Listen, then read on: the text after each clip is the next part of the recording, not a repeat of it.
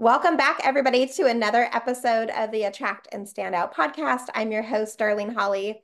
And oh my gosh, you are in for a treat. We are celebrating today. We're going to do some celebration. Where, where those cute little reactions go. Oh. We are recording the 100th episode of the Attract and Stand Out podcast. Woo!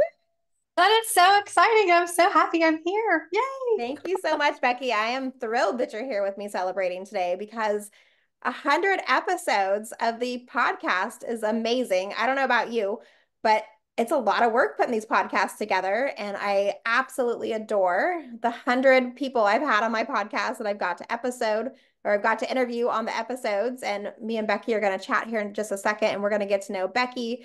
But I love this community. I love the opportunity I get to have every single month coming into your podcast audio or showing up on YouTube and just being with my amazing community. So if you are here for the first time, welcome. There's 100 episodes to go back and listen to, or 99 plus this one. And if you've been here since the beginning, you've been listening to the podcast, I absolutely adore you. Thank you for going on this journey with me and just being a part of these conversations.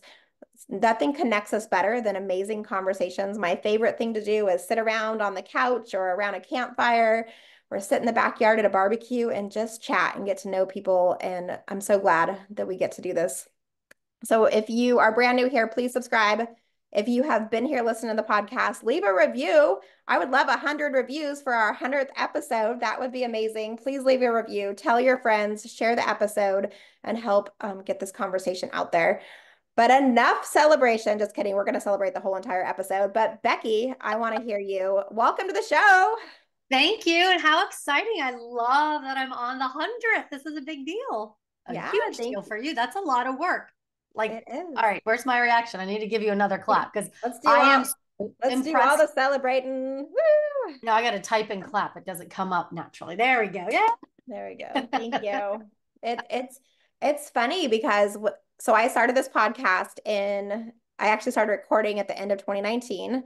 I released in February 2020 which was obviously we all know those dates. It's they're near and dear to our heart because we all got to stay home and become um, couch potatoes. we didn't leave our houses for a little while, but it was such an important part of that time for me, like getting a chance to have conversations and to connect with people. And so I'm so excited I get to continue connecting.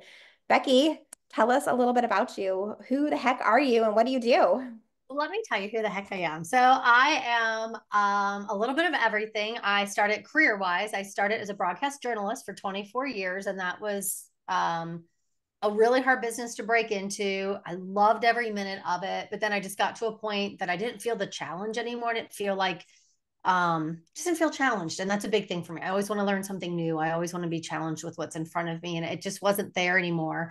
So i thought i'm going to make a move. And so i moved out of the broadcast journalism world and into research institutes and from there just a bunch of different verticals um, in marketing and communication. And then last year was my big leap of faith I went out on my own as an entrepreneur and founded my own chief um, fraction or my fractional chief marketing officer business. And uh, so I've been a, a fractional CMO for multiple multiple clients. So say three to five clients at any given time, and I'm their CMO. And it's a great it's a win-win for everyone. It's great for me because I love to do different things and not always do the same thing every day. And you, you definitely don't as a fractional CMO. And it's great for the um, businesses who maybe aren't big enough to bring on the heaviness of a, a full C-suite or, you know, for whatever reason, money or time. Um, this gives it a little bit of, I guess you could say, a lightweight feel to it, but they still get the same results and the same and the same uh, marketing strategy. So it's exciting. It's really cool. That's amazing. Congratulations on that feat. I know starting our own businesses and getting our name out there and kind of hanging up that shingle. Yes. Yeah. Can be all the sensations, all the feels, all the emotions that come into that. What would you say was like one of the most um, exciting pieces of it for you? Like what piece did you really like gravitate to and love um, I love meeting new people and doing, I know that sounds really kind of dorky, but I do dig networking and like discovery calls. Um, you know, obviously, as we not all know, every discovery call isn't going to convert into a client, but every discovery call I learn, like, kind of back to the point of being challenged, I learn something new every time. I mm-hmm. find out what people's pain points are because at the end of the day, all of us have a solution. We have clients who have problems and pain points. And as a marketer, it's my job to bridge that. Hey, I've got the solution. You've got a pain point. I can help you. Um, and so it's interesting to hear what the challenges are that different companies face. And do they actually need a fractional chief marketing officer and strategist or maybe do they just need a tactician so to speak someone who comes in and can do their graphic design you know that kind of thing um, so that's really fun i love it every time every time it's it's something different and I, I learn about companies i didn't even know existed i'm like wow i didn't i didn't even know this was a thing so i think it's cool i love it it's pretty amazing all the different types of companies that are out there people who are right. finding you know they're getting inspiration from wherever the heck they get it from whether it's past careers or maybe they have a passion or you know, a project they've been working on at home and they're like, oh, I'm going to turn this into a business and I want to start doing this thing. It's, it's always a, like, because I, as a business coach, I talk to a lot of different types of entrepreneurs as well. And I'm always like, this is so cool. Like you took this business from, you know, a, um, a vision and an idea and all of a sudden like you're actually putting your heart and soul behind it and you're actually putting yourself out there in a big way yeah Oh gosh, darling, let me just tell you this is an example I have. So I am emceed an event last over this past summer, so it's a few months ago, for a conference in the executive protection industry. This is a great example. I didn't even know executive protection was really a thing. I'd kind of heard about it. And then I got there and I was so wowed by it. Like, we're talking about people who who protected the president and they were in secret service and military and police and they move out of that government space into the private world and now they're doing that same kind of secret service but executive protection for say high net worth individuals or celebrities or even people who don't fit in those categories but for whatever need you know have have to have that protection. But it's an entire industry that I didn't really know much about until I got to MC that event and met so many amazing people. So yes, yeah. I just love it. I love it. That's cool. It's like you're like you watch the movies and you're like, all right, there's FBI and Secret Service and like yeah. there's people protecting us from aliens and there's all yeah. these different things. And then you're like, holy crap, there's actually like a whole industry of these people and they have an association and they get together. right. right exactly. It was like, wonderful. It was like the men in black. They exist. They all walked in their shades their sunglasses yep. on. I'm just kidding they did not. I'm sure they have all kinds of cool technology that we would love to get our hands on. Right? But yeah. I think i'll just stick with the marketing communication side. I'll let them do that. Yeah but it it's it's cool when we get a chance to like see like a peek into like the different types of businesses and the different types of th- things that we're seeing.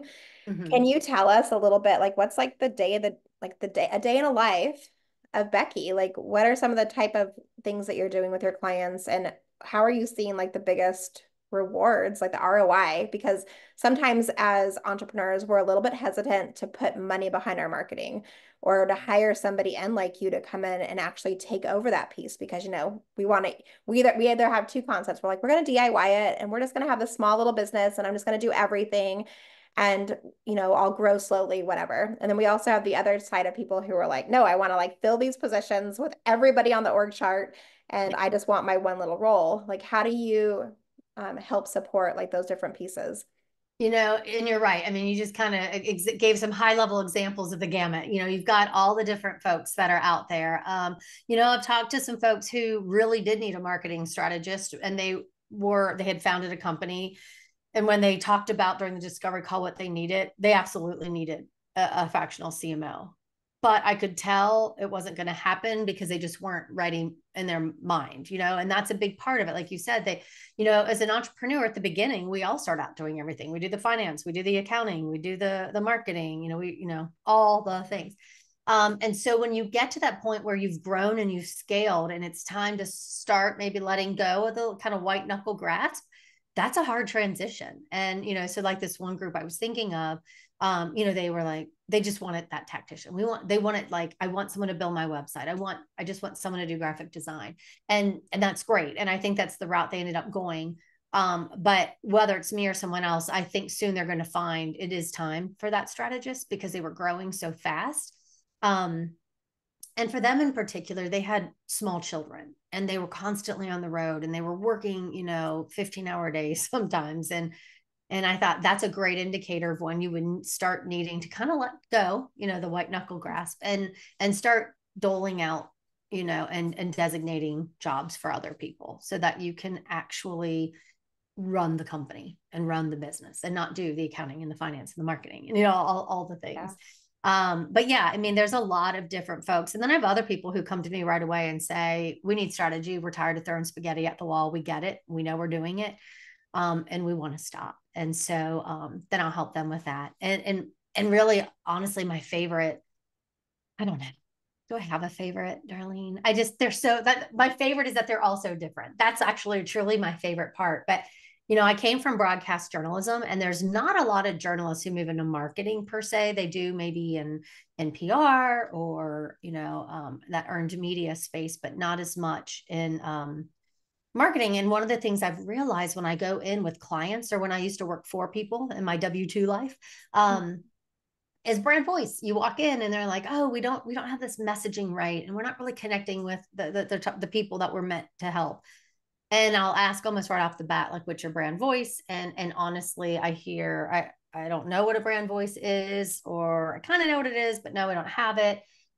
Oh gosh, that is that is one of my favorite parts. And I wrote a book on it. That's why I wrote the book. It's titled Brand Voice: People Plus Data Drive Results. But the reason I did that, it was so important for people to understand it's not just storytelling. Like people are like, oh, that's nice. It's stories. And you know, but I mean, I have I have some case studies. I mean, we actually brand voice drives revenue. And if you think about it, your bottom line is not your numbers. Your bottom line are people because it's the people that make the decision to buy your product or service. Then the then the numbers move. You know, they don't they don't move on their own. So you have to be able to make that human connection to get that that going. And and I love that part. I love building that human connection.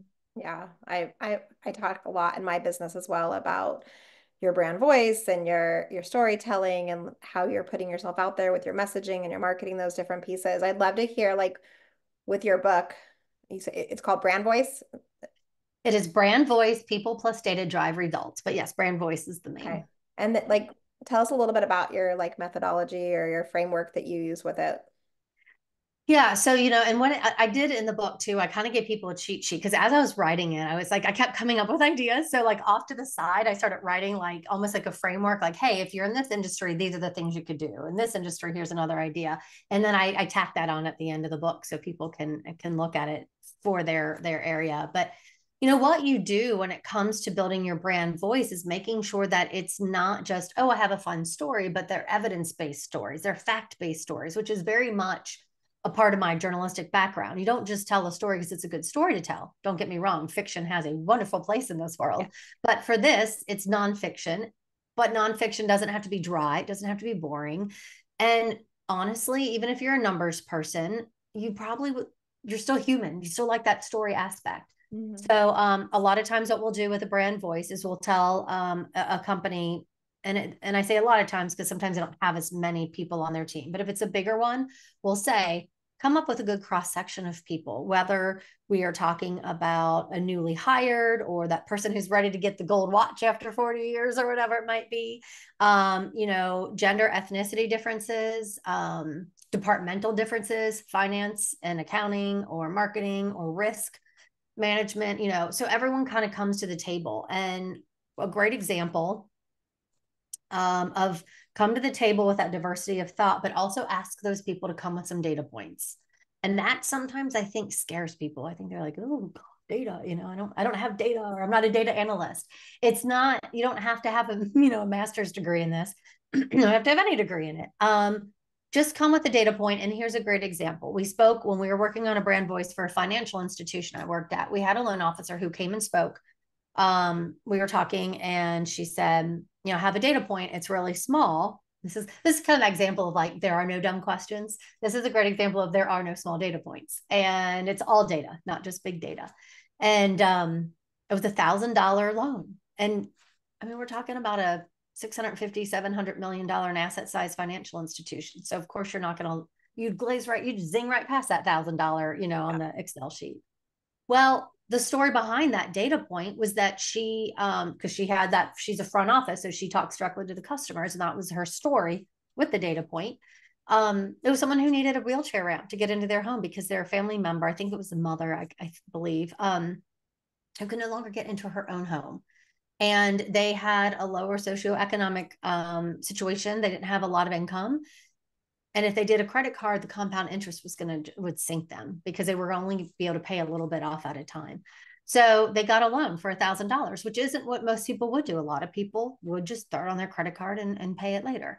Um, and it really opened the conversation to the people at that financial institution and who are we serving and how do we reach those people? Yes, we have high income individuals, but we had a significant amount of lower income um, folks that fit in that bucket that we needed to reach and we needed to help. And it really helped inform our brand voice and our story. And how do we reach?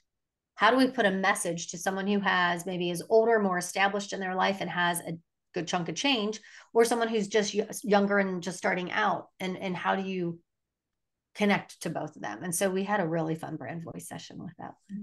Sounds like it. And it, it's cool when you're able to like find like the, the, the different angles to get in to really call in the right types of people that you're trying to work with and you know and that story like speaks to the heart right? Like if you have a family member who you know might need extra accessibility support or friends or people that like people like it pops into your mind and you're like oh i have a connection point here.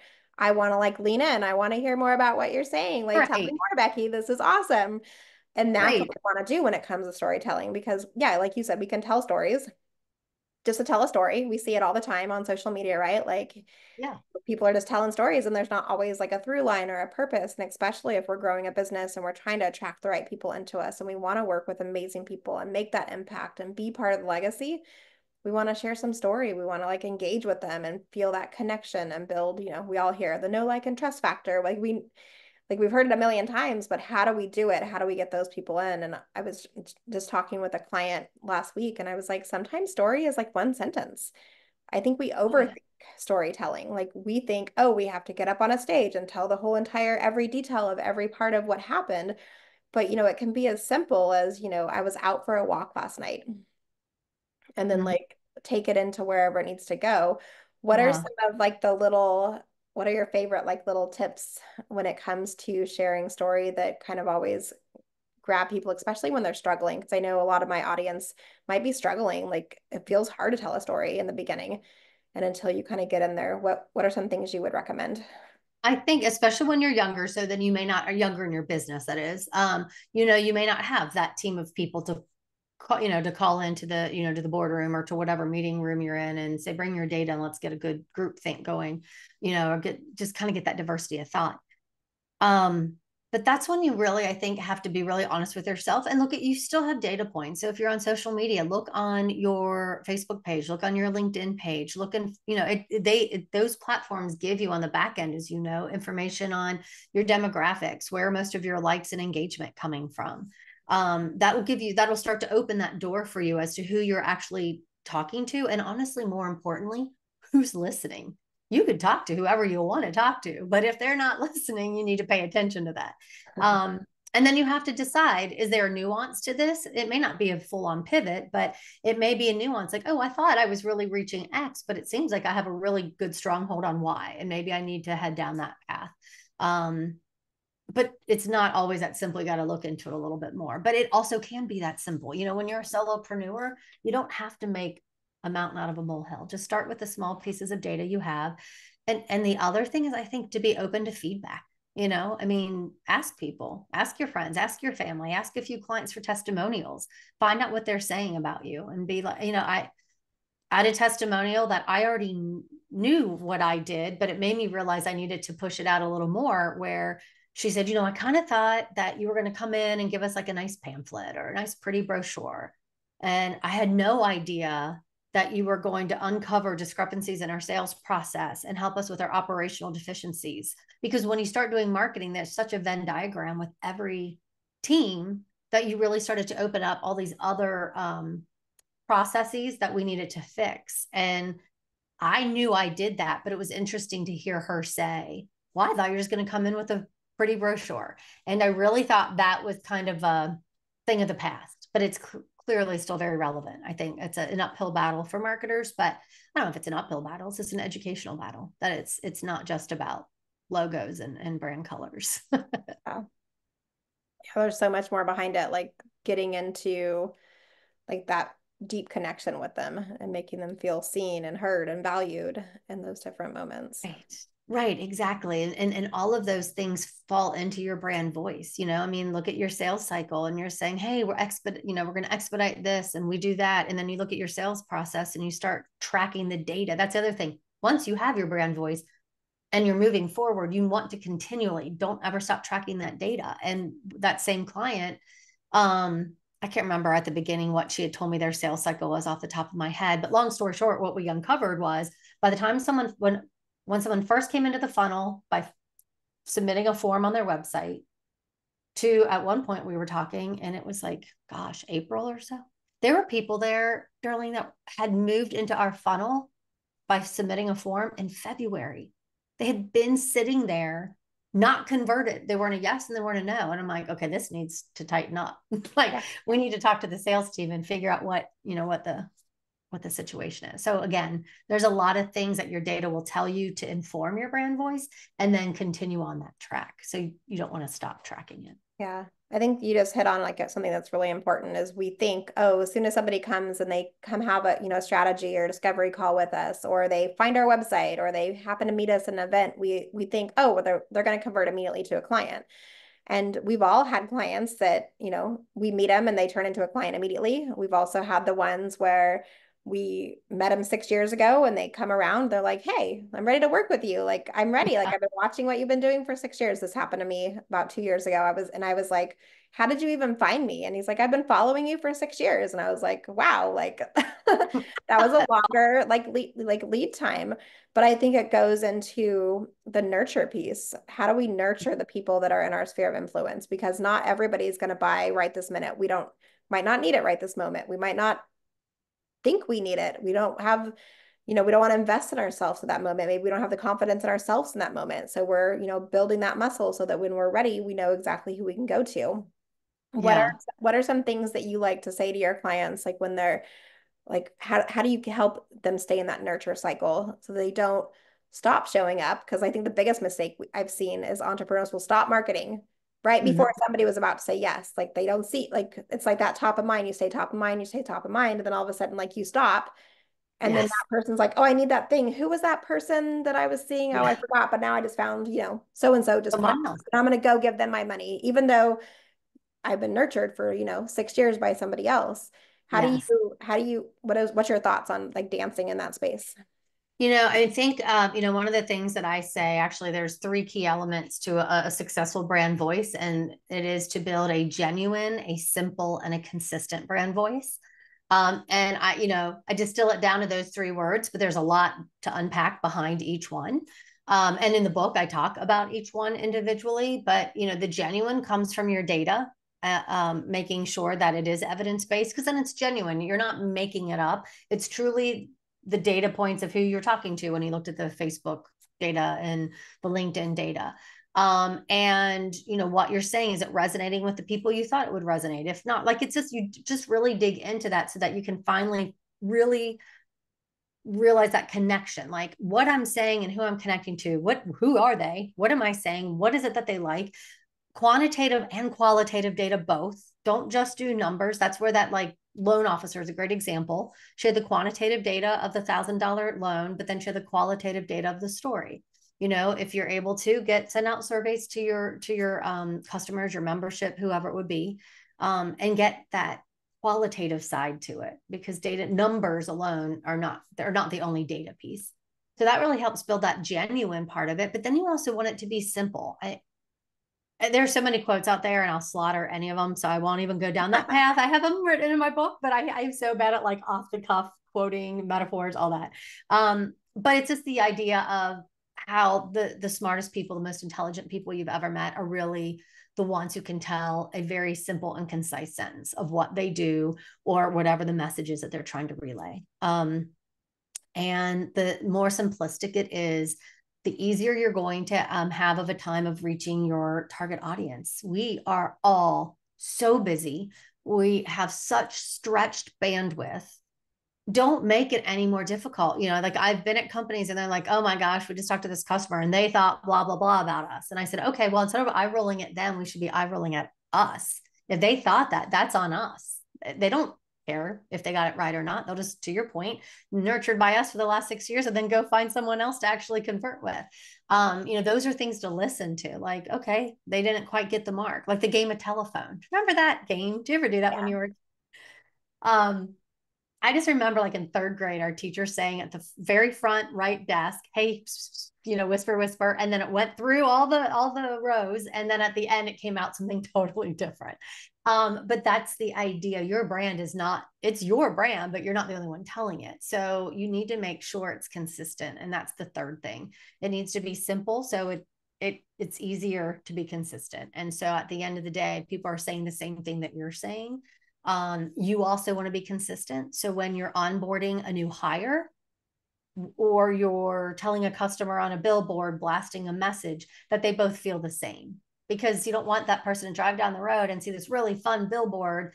And then when they come in and they get onboarded, it's this really stuffy, serious feel. They're like, wait a minute, this doesn't, this doesn't jive because yeah. then guess what happens? You lose trust. And it goes right back to what you said, which is people do business with people they know, like, and trust. And at the end of the day, you could cut it off. People do business with people. Yeah.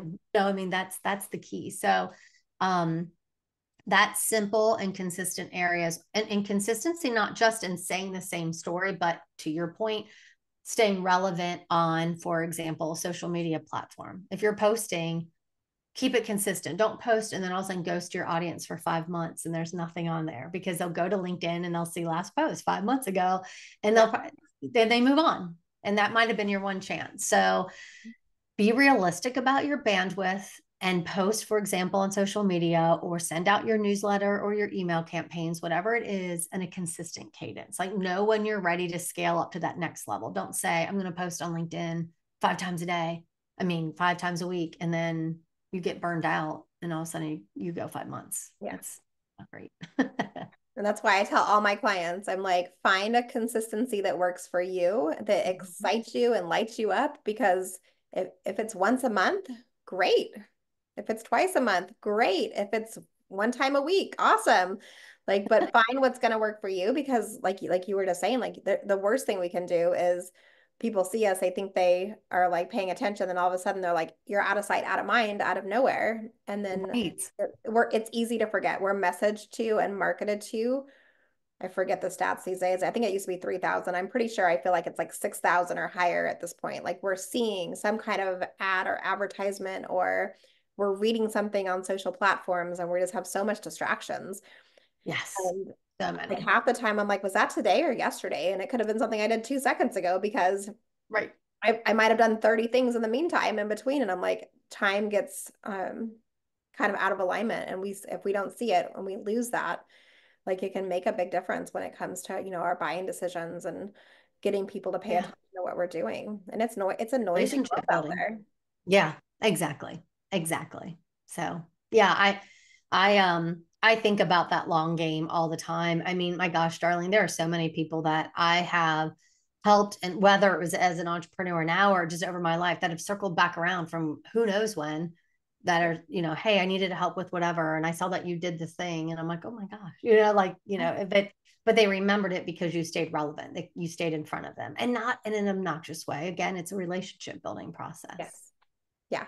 It's it's always fun when like somebody that you haven't seen for a while like swings back into your sphere of oh, influence and they they're like, "Oh my gosh, you're exactly what I needed." I had um, somebody who I networked with in a totally different way, um, probably 10, 13 years ago, recently signed up as a client with me. And it was, you know, she, we already had the know, like, and trust. She already knew me. She liked me. She trusted me she didn't know what type of work I had done because we were working together in a totally different context prior, uh, like volunteer type stuff. And we just never explored that side of things as often. And she was like, okay, let's do it. Like, I'm ready to work with you. And it was, you know, a deep relationship that, you know, had, it had been years since we had nurtured it, but it was still there because of that ability. So I think it's important, like, when we think about those like relationships, how do we make those roots deep as quick as possible?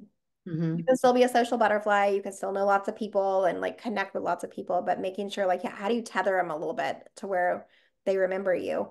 I remember when I first started my business 18 years ago, um, I, I, I, I laugh now when I think back because I just wanted to meet everybody. I'm like, if everybody knows my name, I can be like Norm from Cheers. and like I'll walk into a networking meeting and they're gonna be there's Darlene, the business coach.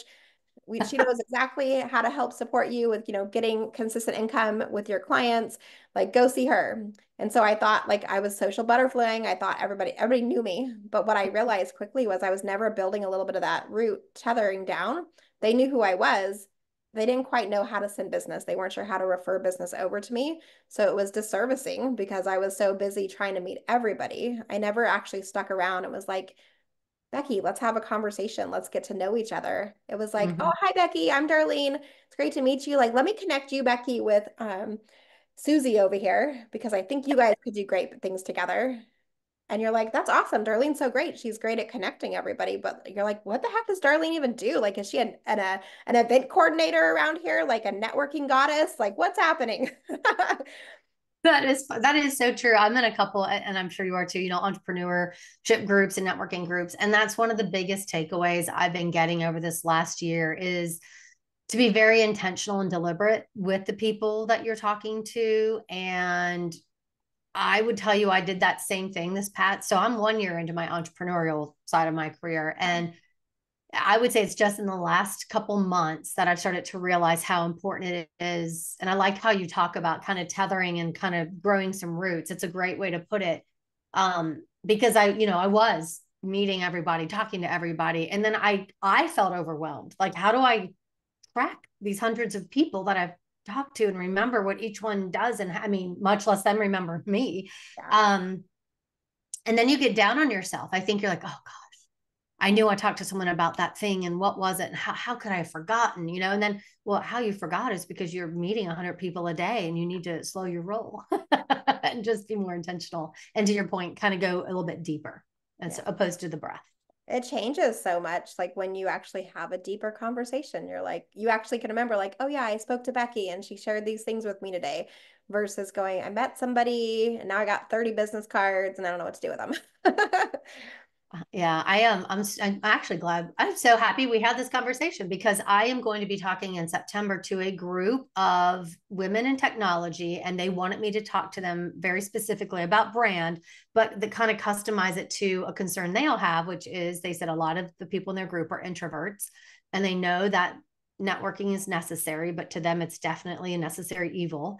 And how do you do the thing? And and that was one of the things i was going to say is you know some people go into an event and are like, I'm not leaving until I have 15 business cards or however, whatever the number is. Mm-hmm. Um, but is that the right way? And it could be. I mean, for everybody, it's different. But for an introvert, I definitely don't think it is. That sounds painful. Um, They'd but, never you know, leave. They'd be under the table when the party's over, and like the cleaning crew would come in, and they'd be like, "Who's under the table?" I can't leave. I don't have my fifteen.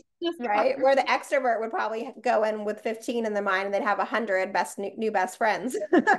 right, and so it's quantity versus quality. I mean, and if you can do quantity and quality to an extent, you can. There's definitely a, a tipping point where it just becomes quantity, and it's just overwhelming. Um, but it's just a good point and and something that I wanted to bring up with them. And again, I just like that kind of hey, maybe quality is important. Get the roots tethered down a little bit. Yeah. Not just with one though. That's their other thing. They're like, then when we find someone, then we just stay. And I'm like, yeah, I don't want to do that either because they're probably like, oh my gosh, Darlene is still talking to me. I need to go network. Yeah, you're like, I need to go talk to somebody else. I made one yes. good, one new best friend, but yes, who else?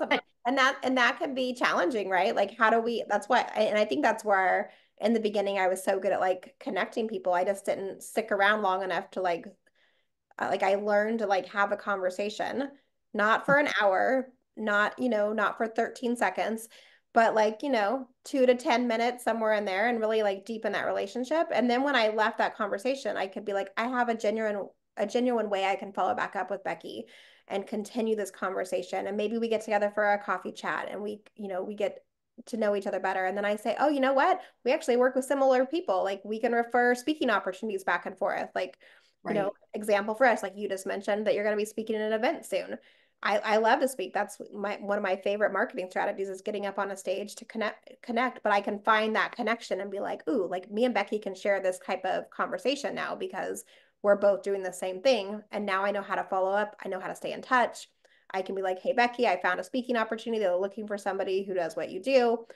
Or, hey, I just spoke here. They're looking for somebody different now. Let's bring you in and we can continue those yeah. conversations. And that's when, like, that's when the roots really settle in and you mm-hmm. can actually like sustain your business growth and you can sustain those relationships because connection and relationships are probably the biggest part about entrepreneurship. It's all about who you know and how you're building those relationships. And we forget sometimes it's not, it doesn't have to be a numbers game.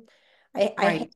I, I hate like people used to say, like when I first started my business, I didn't stay very long with the franchise that I purchased because it was very like, go get 10 no's, go get 100 no's. Someone's bound to say yes. And I'm like, I don't want to like set my mindset on I'm going to go get 10 no's today. Like that doesn't work for me. It might work for some people and have at it. Like, but that feels like a very more masculine type of marketing strategy where I need relationships and connection and I want to you know, I don't like to be told 10 times or 100 times no. Like I would I'd like better odds. I was born and raised in Vegas. Like, I'm like my my gambling statistics have to be better than that. but I think it's important like that we just look at those pieces and like notice for ourselves like how can we show up in these moments? How can mm-hmm. we build the right types of connections and how do we, you know, message in a way that grabs people's attention and makes them go, I do want to follow up with this person. I want to hear more about what you do so that you can, you know, have the right conversations with the right people. Cause we've all been verbally vomited on at a mm. networking event where it's like you said, like your new sidekick won't leave your side and they've told you everything about them and they haven't maybe even asked one thing about you. right. And that's a good point for an introvert too. If you don't like talking, that's a great opportunity. Come with a few good open-ended questions and let them do the talking. You know what I mean? If if it pains you to have to talk, still talk, but that's another strategy. Go, you, you know, bring your and, wing woman. yeah. Well, and for an extrovert like myself, it's also a good strategy to reel me in. Like, okay, you're not allowed to start talking until you ask these three questions. You know what I mean? Or whatever they are. Um, and again, make sure they're good, open ended questions. And, you know, there's always the, and then what, you know, those type ideas or, you know, what now? Like, you know, kind of like the child when the why is the sky blue well why well why why why you know but there's a point to that you know i mean there's there's a lesson to be learned from that very um, childish way of explaining it but you know someone answers uh, answers your question dig a little deeper, find out a little bit more behind that. And then when they answer it, there's probably even a little bit more behind that. And you can really get to know someone that way with those seven layers, you know. Yeah, you got you got to keep like pulling back the layers of the onion. yes, exactly. keep getting exactly. deeper in here. I'm curious um, with the work that you're doing, and plus I ask this question to almost every entrepreneur who's on my show, anyways. But like, what are you seeing as the best marketing strategies that are working for you specifically in this market space right now? Like, what's what do you see is really working? Not that it's going to work for everybody, so everybody take this as a lens that it may or may not work for you. But Becky, like, what's working for you when it comes to marketing these days?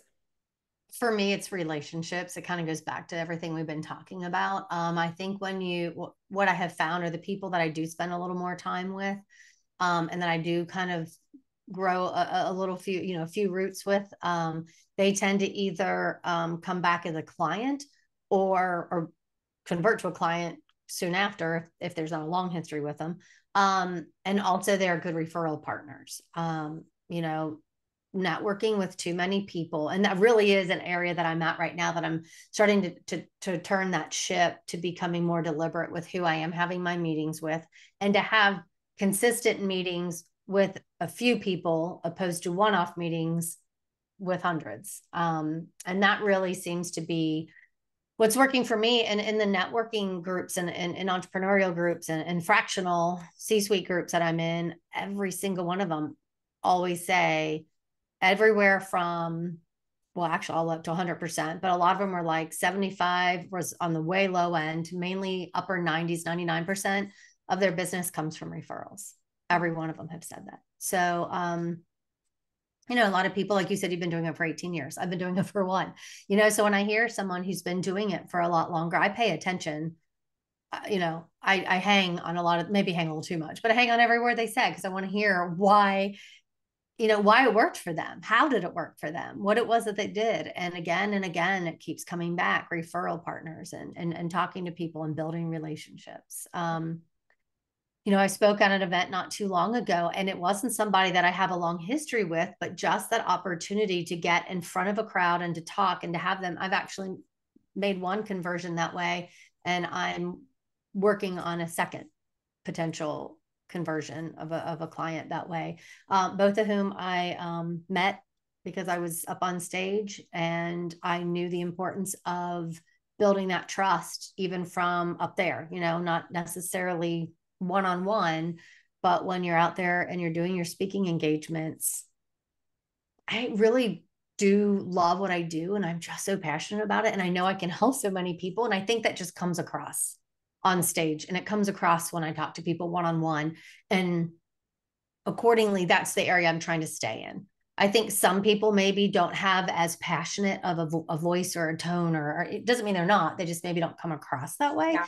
Um, and for those folks, I, I, you know, a lot of people say cold email works. Cold email has not helped, um, you know, me. But I, but again, I'm not a, I'm not a group. I'm not an organization. I'm me, Becky Freemal. And so for my job and for my my business, it's better, I think, to to make those relationships. So absolutely. Yeah. 100% agree with you. And I get so many cold pitches every single day. And I'm like, does, I'm like, who is this working for? Because I never buy from a cold pitch. Can I tell you? So I have actually, now I didn't necessarily, well, I guess I did buy. I, um, I bit, so to speak, in a DM I got in LinkedIn, uh, to someone reaching out, hey, I do tech work, blah, blah, blah. Um, and I would just have it's timing. Timing is everything and, and everything, not just for entrepreneurship in every aspect um, he's my tech guy now. Like when I need, you know, technology type, you know, back end of a website, helping set up an email, like the technical side of the email campaign. Um, he's doing it, you know, and so it does work. And here's a fun little tidbit. If you look, I have like a ratio sheet that I put together for clients. Um, cold email, believe it or not, is still the highest ROI for every dollar spent in cold email, you can get anywhere from 30. There's some research stats out there that go all the way up to $40 in return. There is nothing out there that is a one to 40 ratio, but not even close. Um, but for what I do, and for me, Becky Freemal, that is not exactly what works for me. So just because the ratio is good, don't get so hung up like, oh gosh, but it's such a good ROI. Because I did that and I'm like, it's working for everyone else. You know, I'm like, well, okay, it's not really working for everyone else. It works well, for the right people. What what has popped in my head when you were saying that was it's like, okay, I nurtured somebody for six years and then I fall off, and then somebody just randomly pops up. Like I feel like there's that piece to cold email right. that mm-hmm is like you said, it's the timing piece. And if it's just right, it's going to be beautiful. Like if I just happen to get an email from somebody for tech and my computer keeps crashing, like I'm like, I'm going to be able to put some dots together really quickly. And I might be like, oh, I met somebody else at a networking event, forgot who they were. I haven't heard from them in a while. So you fell in my lap right at the perfect timing. Yeah. Like there's that. No. But man, yeah. it, it's hard to do that cold email. it is. And sorry, I, I, just was like got excited about something else, which was the other thing to keep in mind with email is like 25% of the business or um, it was somewhere along that stat is is the long tail game. You know, when you're talking about email, a lot of sales are made in the long tail of the email. And you know, when you talk about the bell curve and the, the tail goes way out at the end, that's where you know the bell curve might be when you're sending the emails, but then it kind of bottoms out and then you just have this tail that just kind of flatlines a lot of business is done then you know and and it's done because it's a consistent email campaign. It's not a one and done. Yes. you're sending them and you also want to be a thought leader. Don't just email people and be like look at me hire me look at me hire me. You want to you know you want to email them and say, value. Yes value to their day and and be a thought leader and give some advice you know? It, it people appreciate that that one of the things I was told when I first started my business was to do cold outreach. And it wasn't a lot it wasn't in huge alignment with who I am, like walking into a storefront and starting a conversation just felt like totally out of my element. Like I came from retail management. I was used to customers walking in and I could service and help support, like give them whatever they needed, but I never had to go get a client, right? Like the clients right. came into me. And so there was that like mental shift of switching that piece. And it it took a lot of finessing and figuring out what was going to work. But I was told I was told to like take like a mannequin right arm and mail it to the client that I really wanted and be like, I give my right arm for a, a conversation with you. And I'm like, that is some hard cold, hard cold, hardcore cold marketing, if I can say that, that is 100% out of alignment with what I'm going to do and how I'm going to show up. Like, if that works for you, like, all the power to you. Somebody oh. steal this idea and go try it. And let me know how it goes. But that creative. Yeah. I mean, it's, but, it's catchy and it's going to grab some attention. I never tried it, so I don't actually know that would work. I don't even know how much a arm, an arm for a mannequin would cost, like the marketing dollar acquisition part of it. you know what I'm singing, by the way, the second you told that story, I was singing in my head, Desperado. Just think if someone was like, I get my right arm, I'd be like, oh, you really need some business. Yeah. I don't know, but it might work. Who knows? You're stretching. It, yeah. it probably would work, depending on the industry and depending on the person. And like, if that's, if that's you, go for it. Let me know. Yeah. As they say, you do you. But yeah. Becky, this has been so fun having you on the conversation. I'm so glad I got to celebrate my 100th episode with you. Um, I know. I'm going to another day celebrate. before we wrap up, I have a couple rapid fire questions for you just so we can get to know Becky a little bit more. What is your happy spot when you need to reflect, recharge, and rejuvenate? Like, what do you like to do? Where do you like to go? I like to be with I like to be with people. That is what recharges me. I love being with with my tight you know, my family and my friends. Yeah. A hundred percent. Awesome. What book is on your nightstand right now, or what are you learning, or how are you growing? Uh, so legit brand voice. it's on my got your own book on your nightstand. I love it. yes, it's my own book. Um, but it is actually sitting there. Obviously, I'm not reading it, but I do actually pick it up from time to time to come up with um like little short snippets I can put on social media from it. So um how horrible is that? My own book, brand voice. All right. Uh, I learn from myself all the time. I'll go back and read an old blog post or I'll mm-hmm. pull up something or I'll listen to an old podcast. Sometimes like something will pop in my mind and I'll turn it on and I'm like, "Oh, I said that. That was good." I'm pretty smart. I should use that. That's awesome. I'll take my own advice. it's it's one of those one of those things, right? Like we can read a book you know, five times. And every time we read it, we're going to learn something new. We're going to see it through a different set of eyes. We, we've grown, we've developed, we've changed. And so I think we, there's always something to, to learn, even if it's from our own amazing selves. Yes. if I could buy you a plane ticket and send you anywhere in the world today, where would you go and why? Hmm. I'm not going to lie. I heard this. I've listened to your podcast and I've heard this question, and then I kind of forgot that you were going to ask it. Um, on Earth, I would say Africa. I've always wanted to go to Africa, but um, if there was no like criteria to it, I'd probably do a time machine and um, maybe go back in time to meet some really cool people. Mm-hmm. I love it. Yeah, let's go back in time. There, there's so anything forward. I just would love to do that. I think it'd be neat. yeah. if we had a superpower. yeah. I'd rather go back though. I don't know if I want to know what the future is because you know sometimes there are things you don't want to know. Get too anxiety ridden. I'd rather just leave the future unknown, but I'd like to go back. there, there'd be some cool moments I'm sure that you could experience. Yeah. Oh yeah. And legacy is huge um, to most people. What's one of the what's one of the pieces you want to leave as part of your legacy in this world? You know that one is kind of easy for me. I want people to think that I, I, I made them feel like they belonged and that they were seen and they were heard. Mm. I love that. Yeah. Seen and heard. I love that so much. Becky, thank you so much for being on the podcast. It was an absolute joy to celebrate a hundred episodes. Thank you for being here. Um, if you are brand new to the to the podcast, please hit subscribe send us a message, send Becky a message, send me a message. Let us know what you thought of today's conversation. Um, Becky, I know people are going to want to connect with you. Where do they find you? Absolutely. So you can go to my website, um, beckyfreemal.com. Um, I also have a free gift if people want to start building their own brand voice. Um, I have a kind of a how to strategy session at a high level. Um, and that's just beckyfreemal.com forward slash free gift.